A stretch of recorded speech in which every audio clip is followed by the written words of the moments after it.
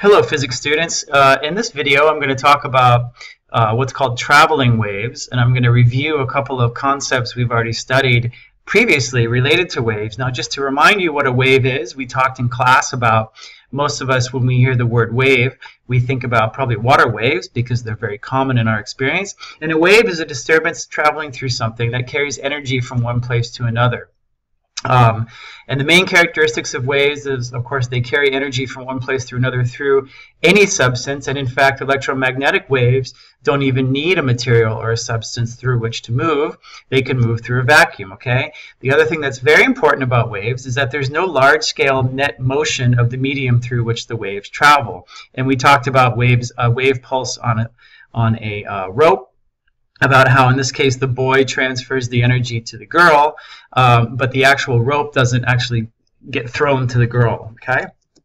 Okay, so again, this differs from the case of the boy throwing a ball to the girl, where there is a transfer of energy, and we know that the girl receives the energy from the boy because um, the ball does work on her hand, and therefore her hand is displaced uh, through a distance with a force. Okay, and again, the main difference between these two cases is that um, is that here with the ball, both energy and matter are transferred, and with the rope, only energy is transferred. The actual rope is not transferred. Now, one thing that you notice is that there is a movement of the medium of the rope, but that movement goes up and down. It does not go from left to right uh, which is in the same direction as the medium, and I'll talk about that in just a little bit, okay?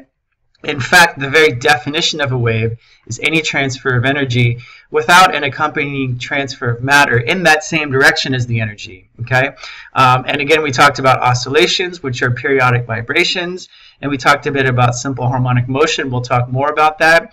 Um, any vibration or oscillation that has a uh, that is simple harmonic is periodic, which means it can be characterized by period t and frequency f. Okay, now Again, just to reiterate how important it is that there's no large-scale net motion of the medium, this is a PhET simulation, and if you keep your eye on one of these sort of beads on this wire, you can see that as the energy passes through, all the bead does is it just goes up and down, up and down, up and down, right?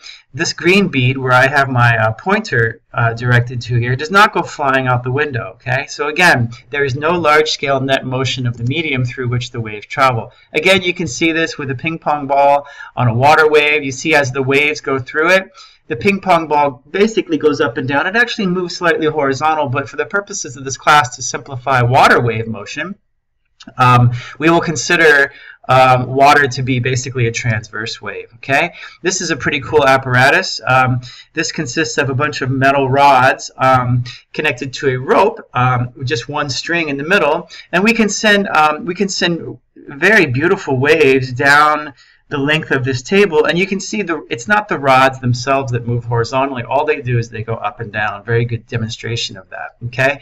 In fact with what we call transverse waves which is what we've been looking at so far the medium's displacement which is s which is a vector of course is always perpendicular to the wave's velocity and I'm also talking about velocity being a vector okay so there are basically two different kinds of waves that you guys need to be able to, uh, to identify and work with. One is called a transverse wave, and this is the kind of wave that you are familiar with when you think about a wave. It looks wavy. It's like a sine curve, okay?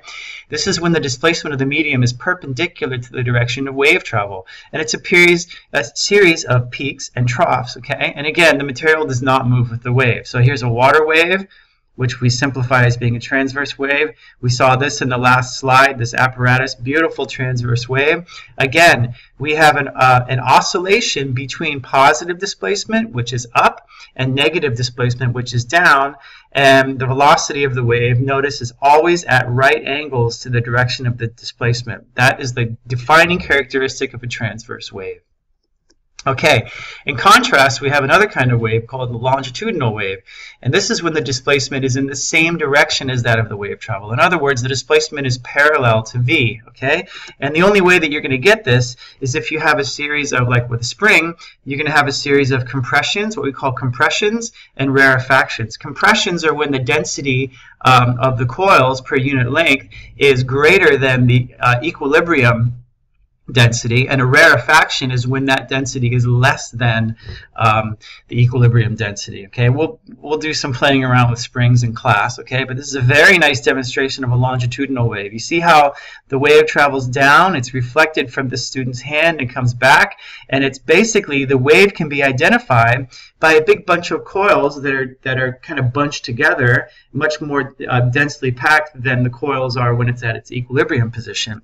And again, the material does not move with the wave. Now, in this case, it does move in the same direction as the wave, but it goes, the, if you think of any one particular coil, it goes forward and back and then goes back to its equilibrium position. So it's not that all the coils are shooting down the slinky and hitting this student in the hand. That's not what's happening, okay?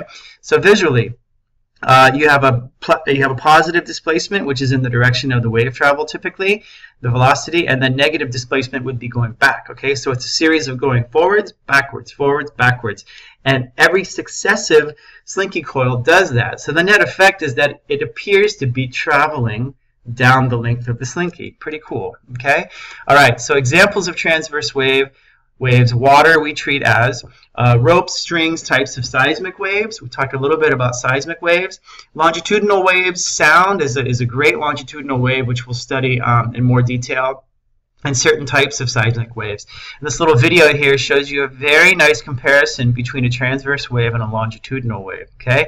And just remember, slinky coils do not move with the wave energy. Now, if you get online and look, uh, say if you go to Wikipedia and look up all kinds of different waves, you'll see lots of cool little simulations. What do you think this top one simulates? And what do you think this bottom one simulates? Clearly, this is a transverse wave up here, and this is a longitudinal wave down here. Okay? I'm going to talk about wave pulses and traveling waves. Now, if you remember, um, in the case of the boy sending the, that uh, the energy to the girl through the rope, okay?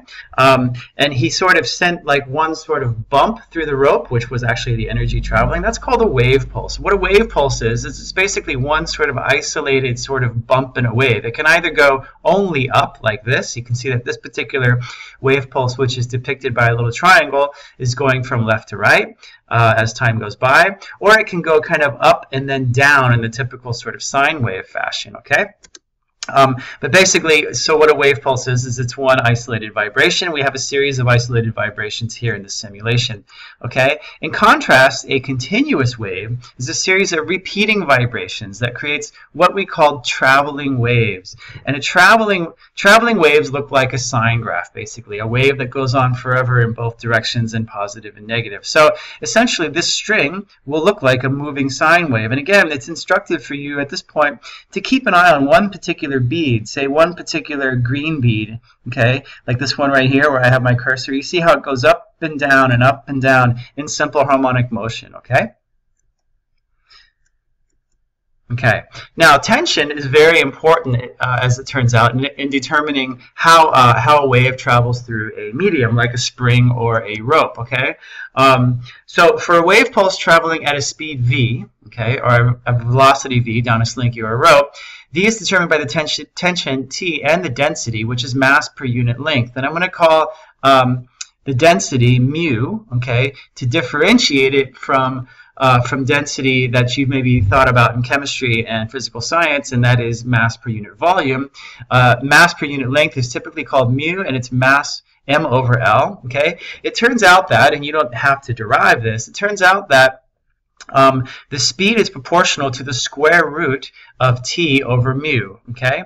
And uh, for springs and ropes, and for gases, uh, it's, it's proportional to the pressure over the density, okay? The square root of, okay? So just to show you a couple of differences here, um, we have a very high tension here, medium tension, and a low tension, okay? So you can see that as the tension is higher, the speed is greater, and that maybe is common sense, right? If you think about a rope that's pulled super tight and you send a uh, you send a wave through it, that wave will go through very fast. If it's very loose and you send a wave, that that wave will be kind of wimpy and won't move very fast. Okay, um, and it turns out that the two speed and tension are related as a square root function. Okay.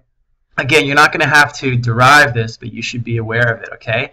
So the speed is determined by the properties of the medium, not how the wave was created. If whatever is forcing the rope executes simple harmonic motion, then pulses are sent continuously and the wave is continuous. So you see here, this thing that's actually generating this, this initial first green bead up and down is a thing, is a circular, is related to circular motion. You see that? So it's a rotor, it's like a motor that's going around, okay?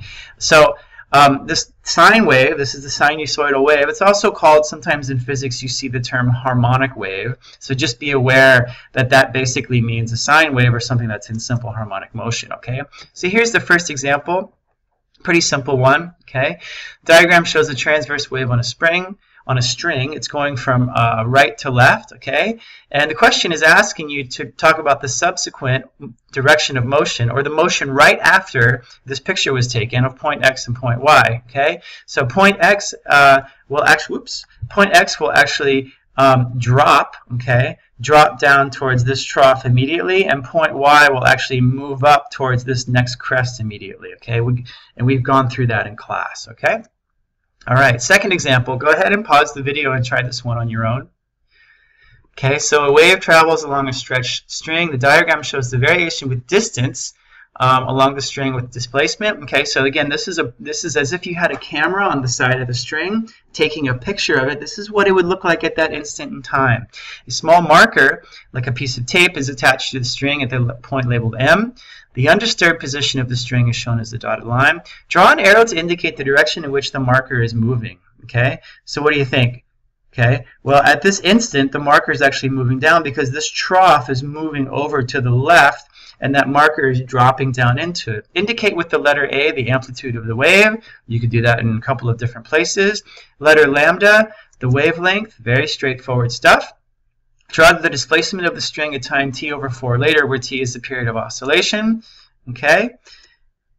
in t over 4, the wave, have, the wave has moved one-fourth of a wavelength, okay?